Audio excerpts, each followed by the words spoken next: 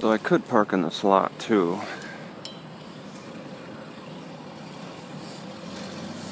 But you need insurance, and I don't have insurance.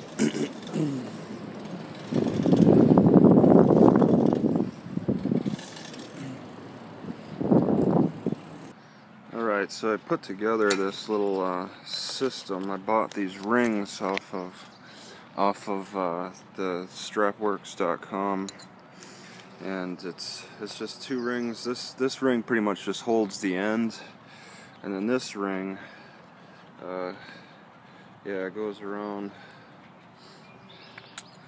so pull it through it's on and off quite easily and then I got a nice handle I'm just trying to I think I need a longer strap so I can have them uh, both together so I can have more of a straight on.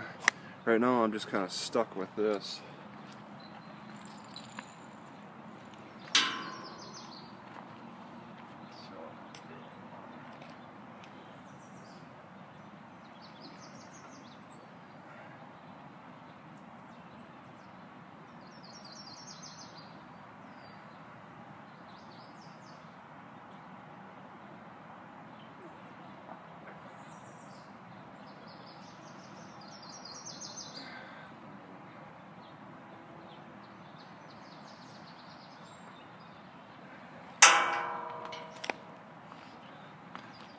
Let me just say too, I, I don't, these handles were not designed for what I'm trying to do. Alright, they, they like to cinch up, so that's really annoying. I like the fat, the, the, the foam, the pad, but cinches up too much. It's, it's too loose.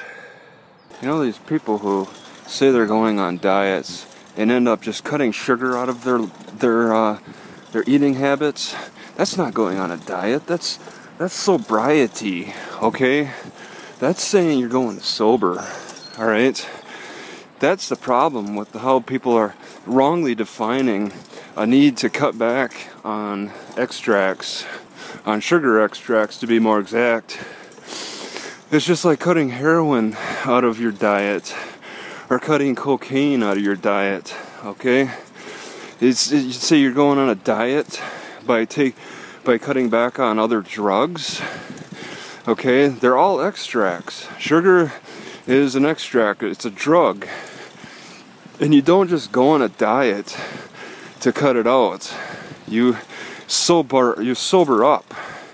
All right, you work on on sobriety because that sugar, those extracts, especially the high fructose corn syrup, are influencing how you think. I mean, it's affecting your hunger, of course, it uh, the it gives you it gives you that pleasure, all right, the instant pleasure. That's why a lot of people are doing it. That's a drug. You don't go on a diet to cut that out. All right, you, you sober up.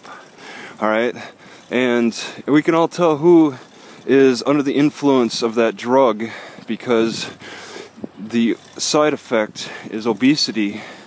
That's the one of the most clear um, side effects out of all the drugs that uh, make it easy to tell who's the most addicted to to sugar. All right, so you don't go on a diet, you sober up. Simple as that to me. Is it simple to these guys? Excuse me. Excuse me. I noticed uh, more of my videos are losing out on uh, monetization.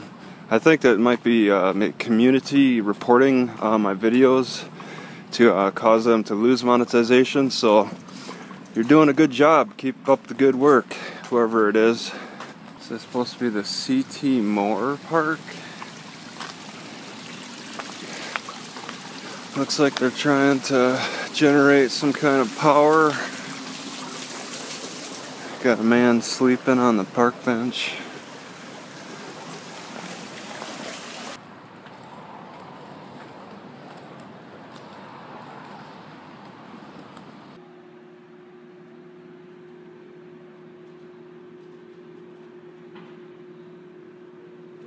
I really, I had to pass on that gallon of milk because my back is hurting me.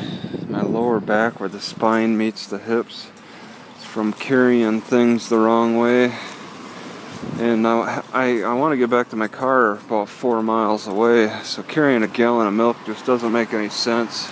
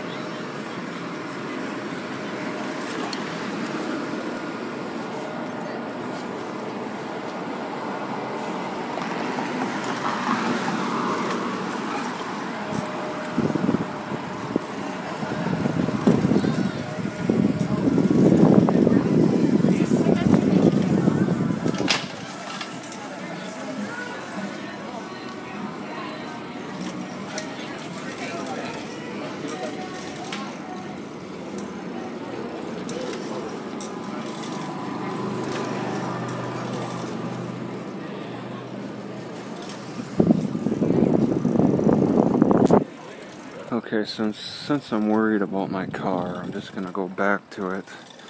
All right, the library is it's 10 o'clock right now. The library here in Boise is open, but I'm more worried about my car now that I got uh, complaints and cops showing up. I'm thinking maybe I'll go to the Hillcrest Library, which opens at noon. Uh, when I get to my car, I probably probably be a good half hour before I get to my car because I'll walk and bicycle in combination. My back, it just it hurt a little bit just just a second ago. I'm amazed how these giraffes are adapting to being caged up. I mean, they're getting like put in that building overnight and into the daytime till about like 10. Blackberries are in season right now. And in Idaho, this is the only way you're going to get them. The only way. One of the reasons that Idaho may be so focused on work and working, getting people back to work, is because it's such a desert wasteland. Alright, there's nowhere you can go out in the woods and just pick um, natural wild berries, fruits, nuts, whatever. There's nowhere. All right, it has to be intentionally grown, intentional. Humans have to get in there and plant it because nothing that's very edible survives on its own. Yes, there were there were salmon in the rivers at one time. But that has to be highly regulated. Somebody talked about last year how salmon were dying because of the heat. The water was too warm, it's killed off a lot of salmon in the river, and I think they were the farmed salmon too. It's pathetic. But Idaho has a different attitude. They're gonna think differently than a lot of the nation because it's such a wasteland. You can't just go into the woods and find wild edibles. It's just not natural. The best natural things are sparse at best. Sagebrush and you know the few little critters running around. And as the Indians said, they saw uh, deer on every hilltop. Well, ever since the covered wagons, that stopped. So you can't just go out into the woods. It's not that easy to find anything. And that gives it that shapes people's minds around here. You're not thinking, oh, let's go out and get some berries in the woods. You're not thinking about that in Idaho. It's just not a possibility.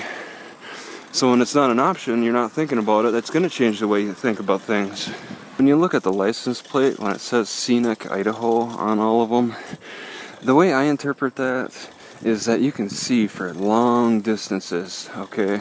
There are no forests, so you can see for very long distances. One of the benefits of Idaho.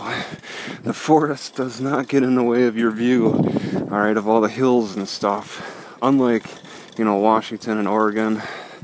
So it's scenic in that way.